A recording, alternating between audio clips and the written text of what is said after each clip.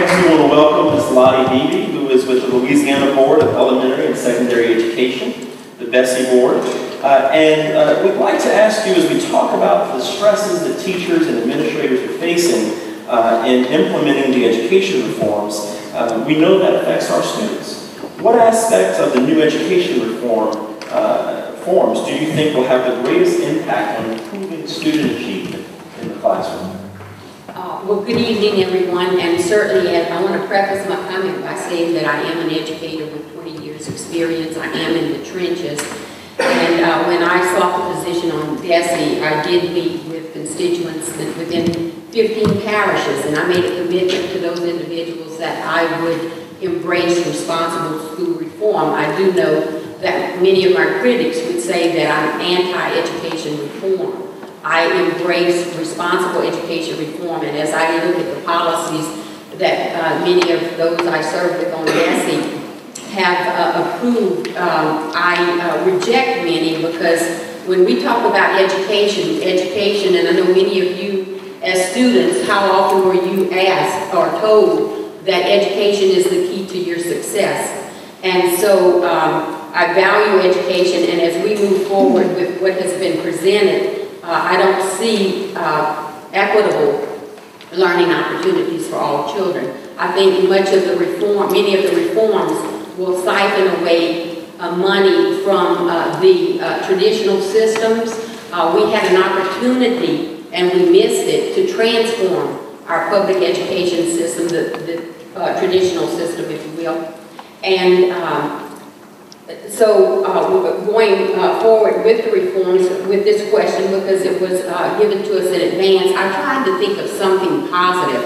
And I will say with the, with the education reform presented, it certainly has created a debate, a discussion, and we recognize, those of us within the trenches, we recognize that uh, many within the public have uh, greater expectations and uh, they want more from traditional systems.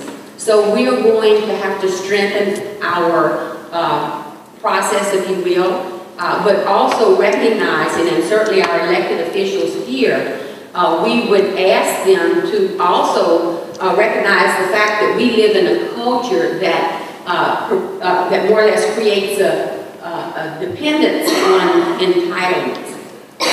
And, you know, it's so easy for uh, individuals to say uh, no to education opportunities. Many of our educators, if, if the elected officials would gather educators at a table so that we could present the real concerns in the trenches, the fact that our children come from impoverished families, uh, many dysfunctional environments.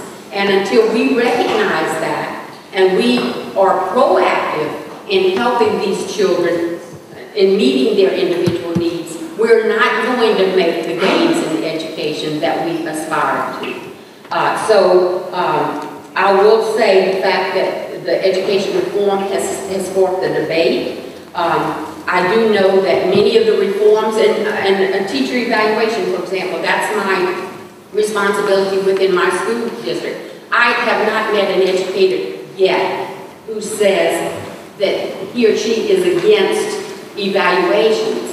We have evaluated teachers for years. The, the problem is we have uh, implemented a teacher evaluation program that many, hundreds of education researchers have stated that, uh, that, the, that there, there are flaws. Uh, the fact is, um, uh, in fact, we, we piloted, St. Martin Parish was a district that piloted a rubric Dr. Stronge's rubric that was discarded during after the pilot, and we went to Charlotte Danielson's rubric, and uh, she, as the architect of her instrument, has indicated that a uh, school district before implementation should take at least a year to assess and evaluate.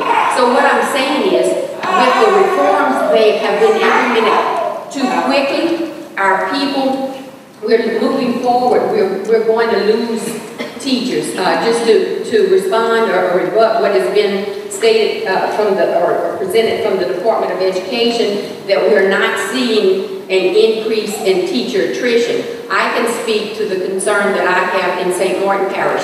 August to, until today, I've lost 20 teachers, and I have never had that experience within my 10 years in the Human Resources Department. So I would love to debate further those individuals, the spin doctors at the Department of Ed, to say that we're not going to see an increase in teacher attrition. Thank you. Thank you.